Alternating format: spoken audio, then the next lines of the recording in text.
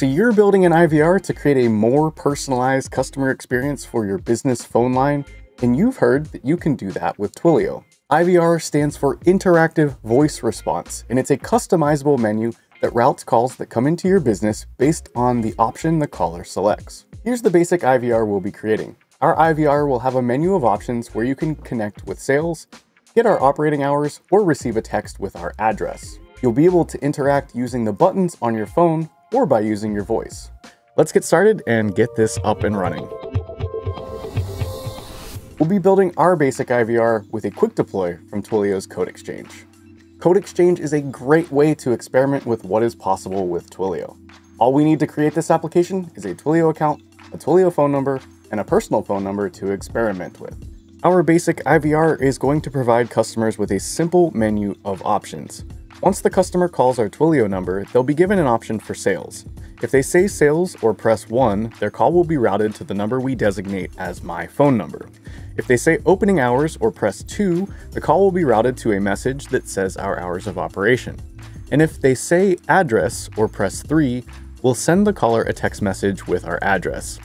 And if the caller presses a number that isn't from 1 to 3 or says something that isn't related to our prompts, we'll tell them we didn't understand and replay the options. We're on the Code Exchange site, and if we go to the Quick Deploy apps and then filter by voice, we'll see the basic IVR application. We're going to quick deploy the basic IVR project to Twilio, so all we need to do is make sure that we're logged in. I'm logged in here, but if you're not, go ahead and log in at this point. Select a Twilio phone number from the list that you want to use for this application, and then supply your personal phone number to test out the application. Next, we'll click Deploy to deploy the application, which will create a bunch of Twilio functions for the application. This will take a little bit of time, but once it's done, we'll be able to test our phone number. Okay, underneath step three, it's indicating that this was a successful deploy, so we're ready to give this a test. Remember, you want to call this Twilio phone number to access the IVR. Okay, let's give our phone number a call and give this a test please press 1, or say sales to talk to someone, press 2, or say opening hours to hear when we are open, press 3, or say address to receive a text message with our address. I'll press 1. Thank you. You will now be forwarded to our sales department. And you'll see I'm getting a call to, to my phone number from me, so we know that that worked. I'll call again and try out the second option please press 1 or say sales to talk to. We are open from 9 a.m. to 5 p.m. every day but Sunday. Okay, awesome. So that one works. And then once more, this time I will use the voice option to say address. Please press 1 or say sales to talk address. to someone. Press 2. We will send you a text message with our address in a minute. And here you can see that I received the text message with Twilio's address. Let's give it one more call and press an option that's not in the menu. Please press 1 or say sales to talk to someone. We are sorry, we did not recognize your option. Please try again. Please press 1 or say sales to talk to someone. Now that we've tested that the quick deploy worked, let's edit the application to make it our own.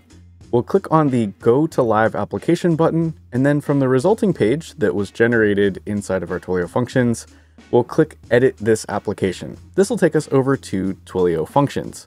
Twilio Functions is a serverless environment that makes it really easy to create applications that are scalable and built in the cloud using JavaScript.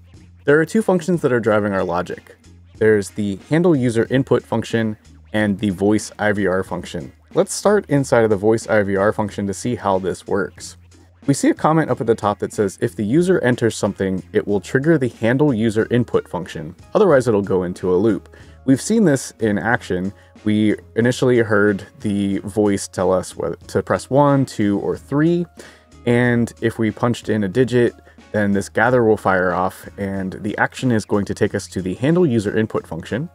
Let's take a look at what that does. If we go to handle user input, this is what gets called with the result of the user selecting input. So if they punch in one or if they say sales, what we're going to end up seeing is that it will dial the phone number that we specified. If they go through the second option, it's going to return our hours of operations. And if use case three goes through, then it'll say we will send a text message with our address in a minute. And ultimately, if they had pressed three, then we'll also send a message using the send message function that's up at the top of this file. Scrolling up there, that is what we're going to change for our modification to this just to make it our own. So I'm going to change the address from Twilio's address to the address that you might recognize of P. Sherman. Does anybody know it? Does anybody know it? It's 42 Wallaby Way. And that's going to be in Sydney. And I believe the address is going to be formatted like. Our Australian counterparts will let us know if I got that right. But yeah, there, we've updated the address. And now that we've made a change, we can click save to save this function. And since we've made a change, we need to click deploy to deploy it to our Twilio runtime service. This will build the application, and once it's done, we'll get a message down in the log there that it's ready to go, and we'll test it out again. And there it is, it's completely deployed, and you'll see green check marks next to all of your files. Okay, I'm going to call the number back, and I'm going to select 3 for address, and we should get the updated address texted back to us. Please press 1, or say sales to talk to someone, press 2. We will send you a text message with our address in a minute. And here we can see I got the text message for P. Sherman, 42 Wallaby Way. That was super simple. Feel free to customize this function further to fit your needs. You could change the hours of operation, you could change the environment variable for the phone number you could call. The sky's the limit. Code Exchange quick deploys really are the quickest way to get up and running with a Twilio use case. We have Code Exchange quick deploys for many of Twilio's products. In fact, now that you've set up this IVR, check out this video to take a peek at another one of our quick deploy projects.